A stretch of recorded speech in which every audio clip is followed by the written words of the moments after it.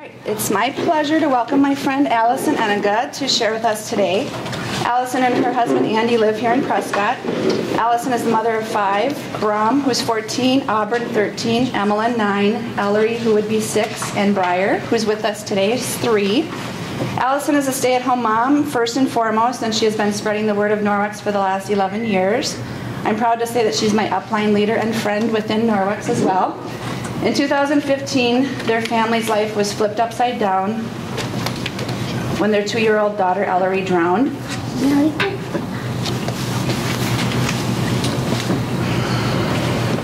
Since then, Alison's perspective on life has changed drastically. Her mission in life is to spread joy, kindness, and love in Ellery's name. She started a Pay It Forward campaign called Ellery's A Joyful Gift, um, and they share uh, random acts of kindness in memory of Ellery. In 2018, Alison got together with a few other parents in our community that lost their children way too young as well. Ava Christensen, who passed away from cancer, and Tyler Orpin, who was killed in an auto accident, to create a way to carry on their children's legacies. We decided, or Alison and the parents decided to create an inclusive playground called Fairy Wonderland. They established a 501c3 nonprofit called Healing Play Incorporated in October of 2018 to support this project. I know Alison has other exciting news to share as well, so please take it away. Welcome.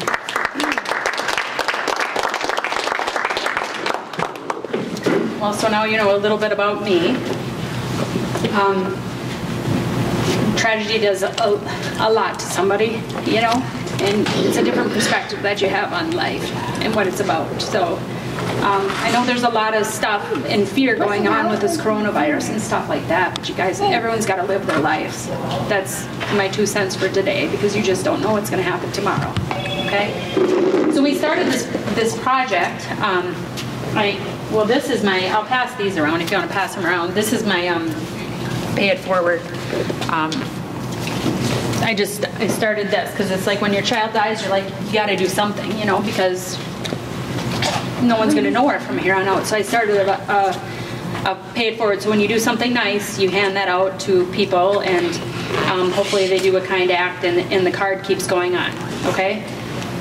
And then, unfortunately, a year after Ellery died, uh, another friend lost their son in a car accident, and that was in 2016, and that was um, December and Sean Orpin's son Tyler. And then in 2017, um, my friend Bethany, her daughter, um, fought a, a, great, you know, a long fight um, with cancer, and she died in uh, 2017. So um, we put our, our, heads together and we're like, we want to do something because you want to carry your kids' legacies on and stuff. And we couldn't think of anything that would be better than a park. And right before my daughter died, we were going to put up a fairy garden in our um, backyard. And then she passed, and I know Bethany's uh, daughter, they were putting up a fairy garden. So we're like, well, that's where the fairy themed idea so we came up with a park, and what this park is going to be is a life-size um, fairy themed park here. So this is actual, this is a, a walkthrough of what this park is going to be. Um, the city of Prescott generously um, is letting us use their land or donated their land for us to put the park on and then we'll give it back to Prescott. So this will be a community park for everybody. Um, we're just paying for the equipment, doing all the fundraising and everything for this park. So this is virtually what this park is going to look like. This is a rendering of it. Um, so do you guys, what do you think? It's kind of neat. Are those surfaces like uh, like rubber kind of? Yes. Like they have in River, isn't it the triangles? Don't they have? Yes. Like, yep. In, in River Falls. So our biggest thing is, you know, a lot of kids get, you know, especially with those with disabilities, they get stuck on the sidelines when it comes to play because there's not surfaces that they can wheel around in or, you know. So this is a, um, an, an accessible to all park. So wheelchairs, anybody with disabilities will be able to utilize this park. So that's huge. And through some of the research that we did, there was only like 20 um, accessible parks in the state of Wisconsin that were like this. So we're going to have one right in our community, and this is going to be located right behind um, the fireworks place on Pearl and Canton Street. There's St. Croix Bluffs Park that exists there now. So, um, basically, um, we're in the fundraising stage right now. Um, since we opened our non- nonprofit, so we're a legitimate nonprofit called Healing Play Inc. in 2018 and uh, October, and we've raised um, probably a little over 125, 130,000 um, already in that period of time. And now we have stuff like this that we can go and show because a lot of people didn't quite understand what a fairy garden was. So looking at this. So there's several opportunities that um, the community or anybody could help us. We have several fundraising op- opportunities, sponsorship opportunities, and things like that. What I hope Prescott realizes is we're going to bring so much to the community. I've been a stay-at-home mom since my youngest, who is, or since my oldest, who is now 14, and we would go all over the place to go to the parks. I go all the way to Bloomington. We go Stillwater, everywhere, just to go to a park. So you get a lot of people, um, especially moms and things like that. They'll come to the community. They're going to eat at your places and things like that. But they're going to come to see a park like this because there's nothing like this around there. I can assure you that. Okay. Um, so a couple different ways that we are raising funds.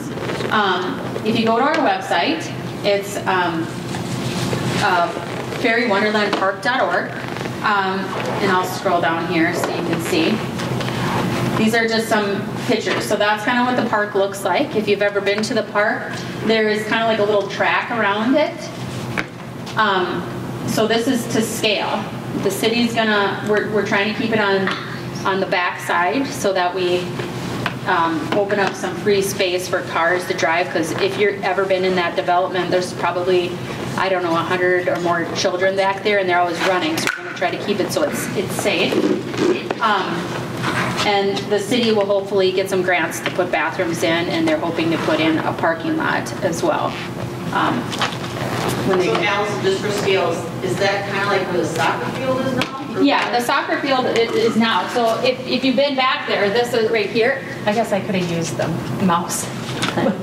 But this is the, the basketball court right there, so it's exactly to scale, he drew it to scale, so that's how big it is. And it can get bigger, as we raise more funds, it can get bigger and bigger and bigger um, to fill that whole area, which I think would be really cool. And then in the future, if we keep raising funds and stuff, I would really like to see sports courts and pickleball and things like that because the city had bought that, oh, there's a whole nother lot back there that's open that the city bought too. And I think for the community to have stuff like that for, um, you know, pickleball's a big- thing right now. Um, and sport, you know, just a place, a gathering place. So it'll be just a nice community area um, for everybody. Um, we have the different locations. There's different pods and stuff. So there's opportunities to to sponsor um, different pieces of equipment, larger things, cash donations, whatever you want. Um, and I'm going to show you that before I show you the the next thing here. Sorry, I'm not used to the mouse. Okay. So if you click on sponsor, we have four different ways that we can sponsor right now. Oops. Okay.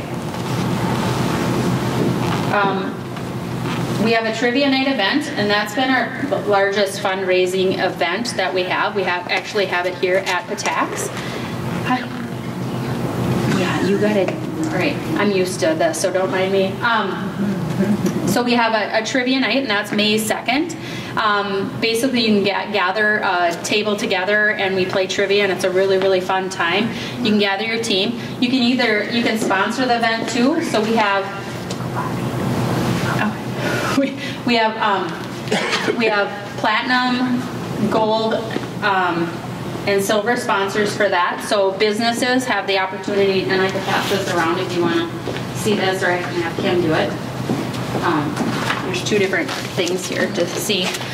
So if you're a business and you want to sponsor that, um, I'm passing around the, the brochure. If you want to do silent auctions or anything like that, we'd be happy. And this is specifically sponsoring of the trivia night event. Okay?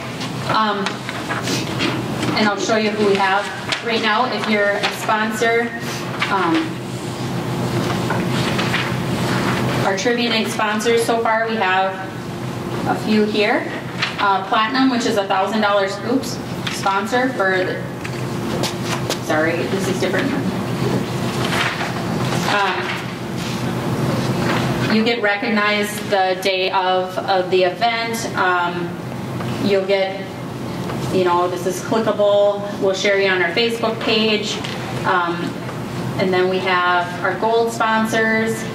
Um, and that the platinum sponsors includes a table, so you can bring, you can have a great community um, uh, or a business, whatever they call it. Uh, word get together and bring all your, you know, eight of your um, employees and have a night out. Um, with our gold sponsorship, we have a couple of tickets are included with that, and then we have silver sponsorships. And I still have to get a few up here and stuff. I know Wisconsin Credit Union is a silver sponsor as well. Thank you. So thank you very much. Um, so these are, you can check that out. That's a way to sponsor, help, help with the park. Um, then we also have equipment sponsors. So we have different pieces of equipment that can be purchased. And I know Tara just went to the bathroom, but there's other Wisconsin people here. Um, we got our first uh, gold park sponsor, and that's Wisconsin Credit Union. I want to thank you guys so much. It means just a ton. Um, and they are sponsoring, where is it? The Tickley Toll Bridge. Troll, toll, Tickley Toll, Troll Bridge? particularly Toll Bridge? I don't know. So they are sponsoring that, and we're so excited about that. You can check. Um, so these are the pieces of, of equipment, but um, that was beyond exciting. I, I can't even. Um, I've been working with Tara for a few weeks, and she was right on board with that. So this is our picture um, that we took. So. Group of group of people that are working with us to raise funds and go out and, and do everything. Um, so this is, and you can go through and read. There's a little bit of an interview and stuff. It's pretty special. So um, go around and search our, our website. So here she comes out now. But yeah, she she she did a lot for that. So you missed it. I was just thanking you. Yeah. but thank you for taking her. Good thing your boss is here. Yeah. No, we, we appreciate it. So thanks, uh, Wisconsin Credit Union. All right. So there's those those different ways to sponsor our park or or give funds, or we just have the um, cash. If anyone wants to give a cash donation to the park, all all money goes towards the park, building of the park. And we're hoping to have. I mean, our goal is to have something done.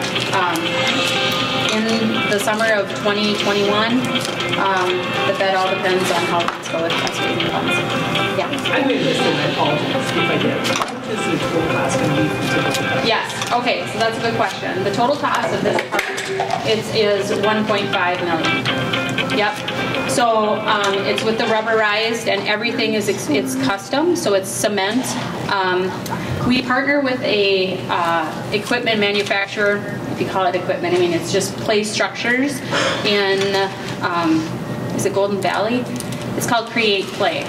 They are worldwide, um, known worldwide, and they do custom they, they create like stories and that's kind of what our park is. It's like a story. So it's just unique. Everything's like it's hand carved and made and it's i can't wait till people see it. So it's kind of like uh, Tr- triangles park. Made it's a different company or um, teddy bear. If anyone's been to teddy bear park in stillwater that is a create play um, structures there. So it's super unique. Um, and here's what I want to show you too. Another way is um, we have fairies. Now this is, I was thinking, when we kind of came up with this idea, we have these, these fairies that you can personally buy to honor a loved one. They can be living or past. Now when I was thinking about this idea, you know, I, this might sound crazy, but when I was I was purchasing a headstone for my daughter, you know, whoever wants to do that, you want to make sure that the picture was on there, right? Because everyone that passes by, they can see who she was, right?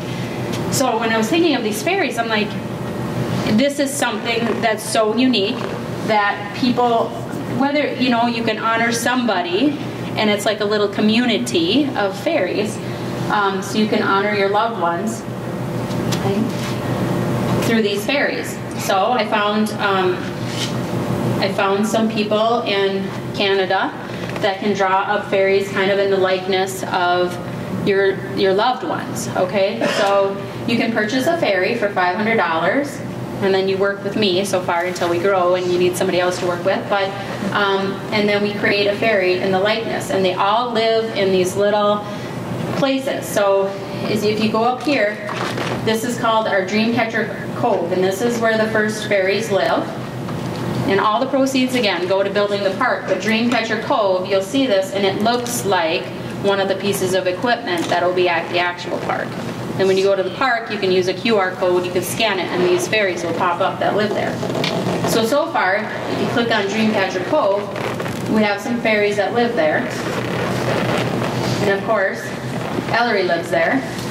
So she had curly hair and, you know, um, so you can click on the fairies and this is what you get. So you get a, draw, a, drawing of your loved one um, and then you get a story. So I can, you know, if you click on here, you can read the stories. And then you can get some video. You have a couple video. And then you get some pictures. Okay?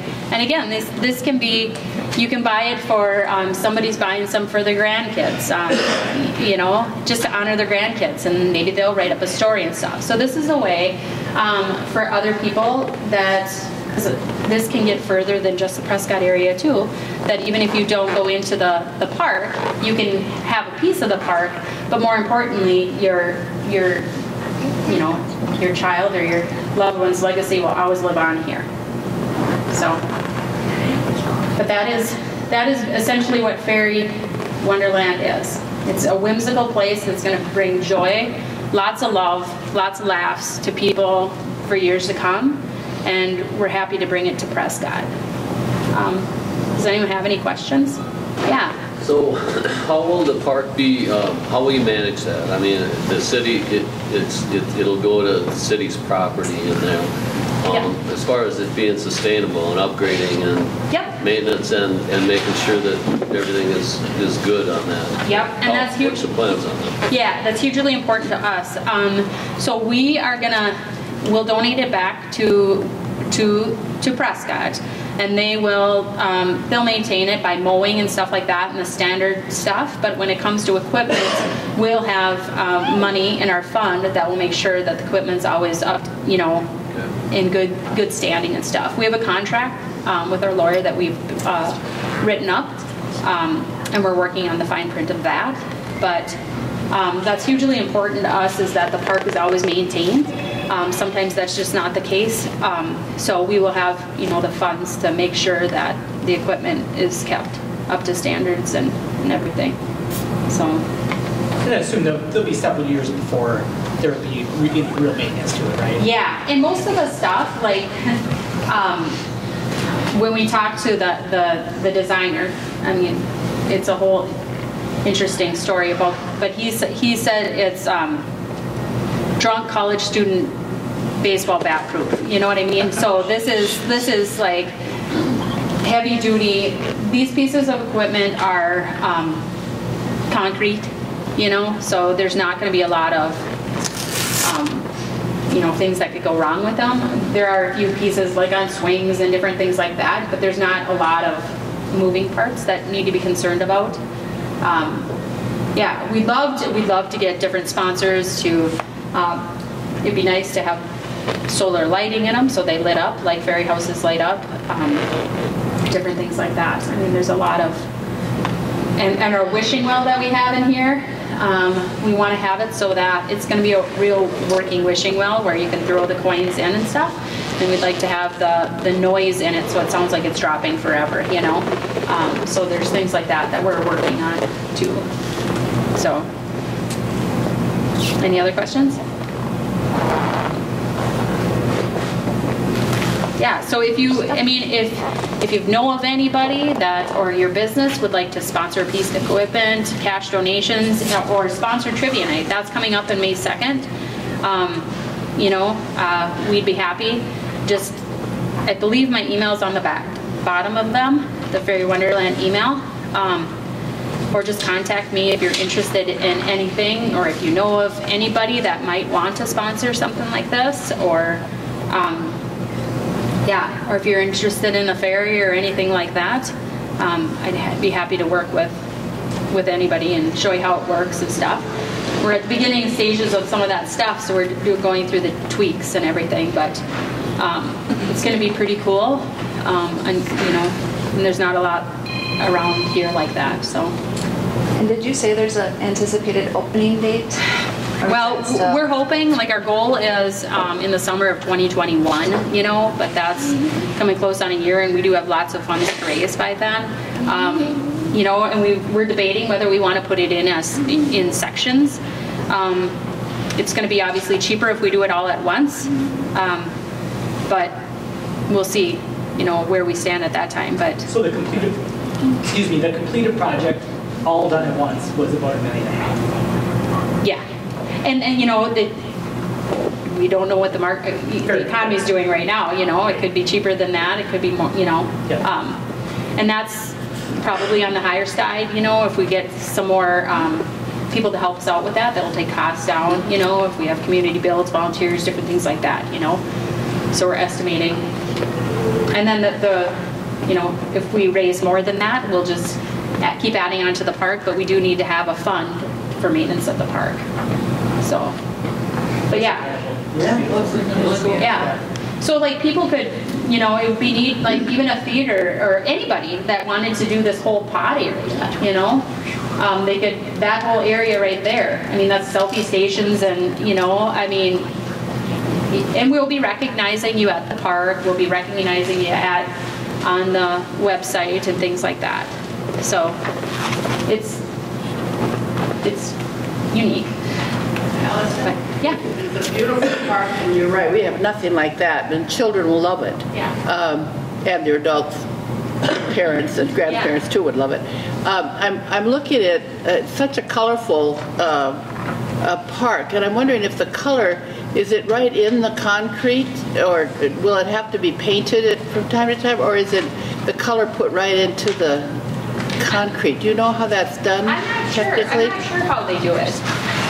Um, would require more upkeep, upkeep if it, it has to be painted, there's so much color in it. Yeah, I don't, I don't, I mean, I could ask him about that, but I don't think it would be a painted. It might fade a bit over time, but it'll never, It is in the concrete. yeah, I mean, The it's, color that we're seeing is like a rubber surface, correct? the ground is rubber. Yeah. Yep, the ground is rubber.